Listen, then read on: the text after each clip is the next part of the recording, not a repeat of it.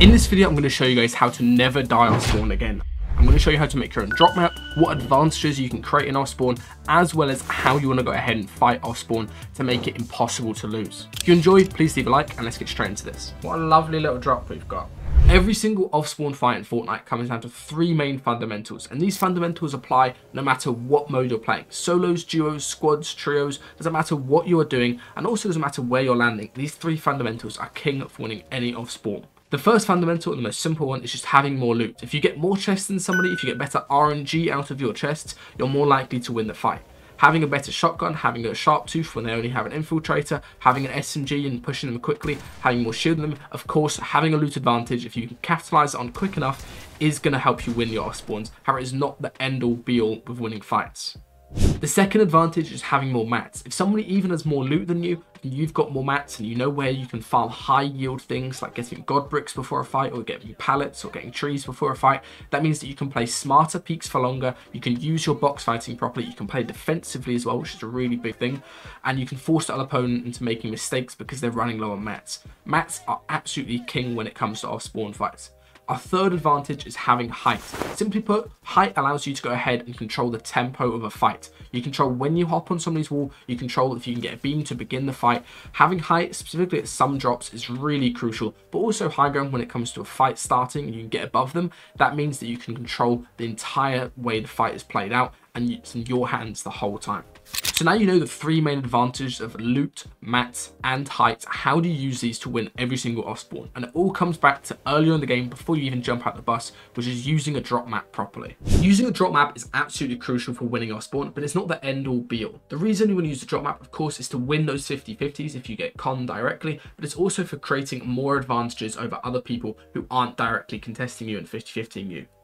If you guys are interested in getting a drop map for literally anywhere on the map, I went ahead and partnered with Dropping Calc to give you a free drop map when you sign up for either Drop Masters or for the Masterclass Unlimited bundle. These drop maps are used by pretty much every single top tier pro. They are the world's best. It's done by a lot of high end calculations to give you the absolute best drops. But if you guys are interested in making your own drop map for whatever spot, I'll show you a very quick and simple method to do it. All you need to go ahead and do is know where you want to land, for example, right there, and then know one marker that works for your spot. For me, I know that this marker right here is perfect to give me a glide for that balcony. From there, all I want to go ahead and do is click on the actual where I'm placed I'm landing and draw a circle outwards on Fortnite GG. As you can see, this is going to give me a really nice circle, and basically everywhere around here that is flat is going to be a perfect glide for that exact balcony, as you can see. So all of these markers around here are going to be perfect. From there, you can go ahead and adjust it based on the elevation. So you can see here, this elevation is slightly higher, so you'd want to go ahead and move the mark back slightly. Obviously test this in game as you're playing ranked and as you're playing tournaments. You can go ahead and test this and move these markers around, figure out where is better, and you can go ahead and test it. This is a pretty accurate method to get very good drops. However, if somebody is using dropping calculator, you will still get out dropped because of just how much better those maps are and how accurate they are. So once you've got your drop map and either you've gone ahead and bought one or you're going ahead and creating your own, how do you go ahead and use it properly? There's three main steps. The first is knowing when to jump out of the bus. The second is as you jump out of the bus, which marker are you going to aim for? And then the third is how to glide correctly for that marker to hit it. This might seem really simple, but I guarantee you every single one of you watching right now at least messes up one of these simple steps. So the first one is when to jump out of the bus, and that combines with which marker to choose. A lot of players end up sitting in the bus too long, and that leads them getting outdropped by somebody dropping full first. A lot of also players might, let's say on a drop like this, go ahead and choose to land on a marker, let's say over here. But as you can see, that's not going to be the most efficient path to where we want to end up. The most efficient path, a straight line, is going to go ahead and be somewhere around here to give us a perfect lineup. So what I want to go ahead and do is mark exactly where the drop is correctly, first of all, using my drop map, and then I'm going to wait for that to line up with my actual drop. So as you can see there, it's lined up with where I want to go, and then now, as I go ahead and jump out the bus, I'm going to be going in a straight line from the bus to my marker to my actual drop. The straight line is always the most efficient from A, B, and then to C. Now after you know which marker you're going to be aiming for, so in this case it's fairly simple, it's the only marker on this side that's going to give me the best drop. And then of course when to jump out of the bus, so for here it's going to be very early on so I can go in a straight line to the actual drop. How do you go ahead and glide efficiently? There's three different gliding speeds that you guys need to know about and to be using. So very simply, on a far bus like this, this is the really simple gliding trick you need to use. So I'm going to jump out the bus pretty early on here, and I'm going to look into the horizon as high up as I can while maintaining a good movement speed. This is the optimal angle to go ahead and get. It's like looking down into the horizon. And as you can see, I'm going very quickly in the top right. And I've only got that single arrow. That means that I'm going forward very quickly. If you look a little bit too high up, as you can see, I'm actually going to slow down in the top.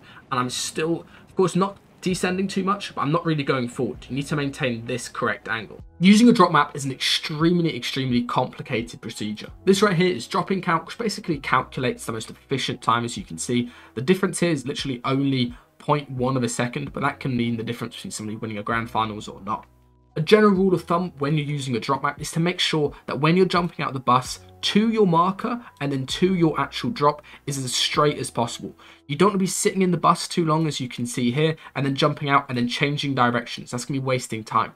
And you also don't want to be going ahead and jumping out too early from the bus, gliding for too long, gliding slowly for too long, and then going ahead and going to your marker. You're going to stay in the bus, jump out at around a 60 degree angle, as you can see, it's about 60 degrees, and then hit the marker that's going to give you the most straight line up.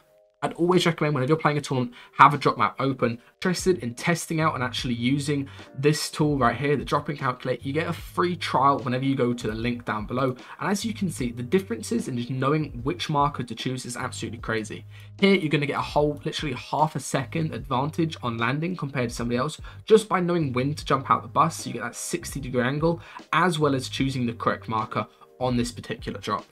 I recently made a whole load of updated videos exactly showing how to jump out the bus, master gliding, and what to do on the approach if you guys are interested in it and you want to get more information. However, what I've shown in this video will cover you for about 90% of off-spawn fights. Now, once you've gone ahead and created a drop map and you know where you're landing, it's all about creating and stacking your advantages on each other as quickly as possible. So you can see right here, I've got the best drop for this top building. And the reason I'm landing at this top building, not the one below, is because the loot is very similar, but the key thing is I have access to height as well as access to another building at the back where I can easily get more loot than the other person. As you can see, I get a free kill out there and I hear that there's two players down to myself fighting in that building.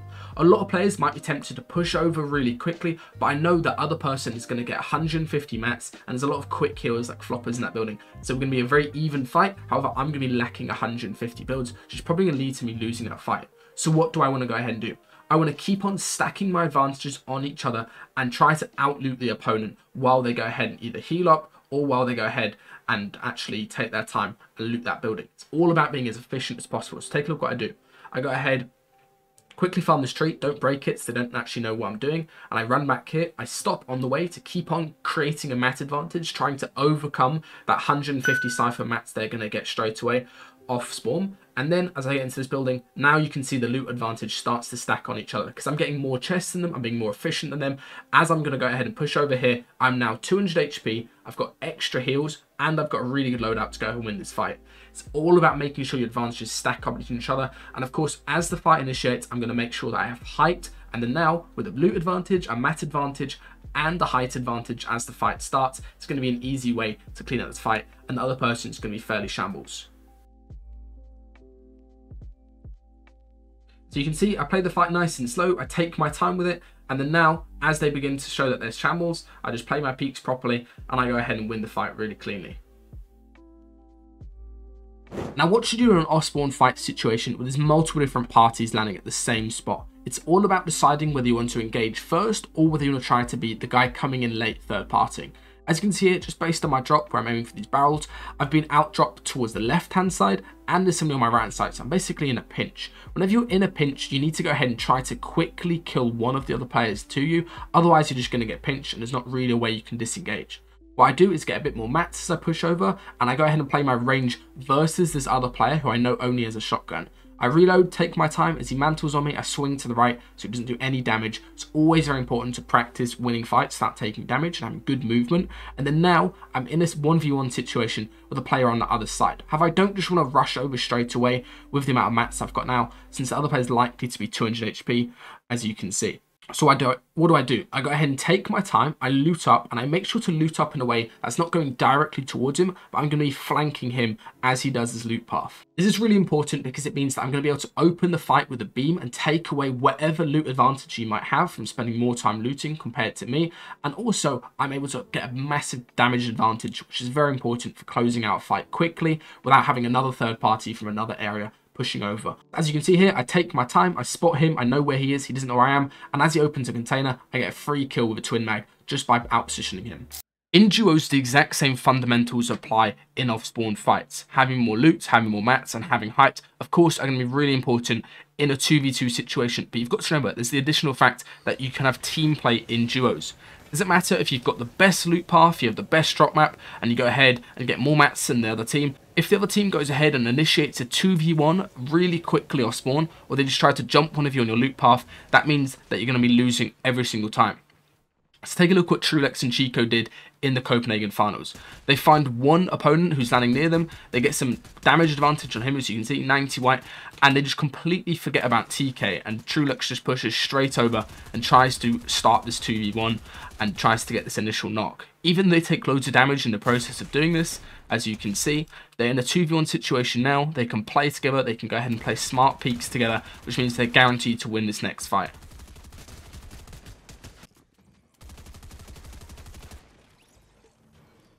Another really important aspect about duos off-spawn fighting is, of course, you should be using a drop map, but you both shouldn't be aiming for the same thing. I'd recommend having two different drop maps for duos, so you're both not aiming for the exact same floor spawn, and you've got some variety of your drops. The big mistake that Thomas HD and Malibuca made in the grand finals of Copenhagen when they were contested is they're both aiming for the same floor spawn. It ended up working out well in the first day when they qualified. However, as you can see here, when they get slightly outdropped, they're both dropping for a floor spawn, which they're going to get beaten to. And Aegis is the correct thing, which is landing splits. So he's got more loot that he can potentially get, right? He's got more floor spawns, a chest spawn, as well as more floor spawns at the back he can reach. And Kanada, he outdrops here, slides onto the gun, gets that initial knock right there. And then now, Aegis is going to go ahead and play with Kanada. They both go ahead and initiate this 2v1 really simply, and is just completely dead in this situation. Another huge aspect of duo fighting that Misha and Tini are absolute masters at is out-positioning your opponents.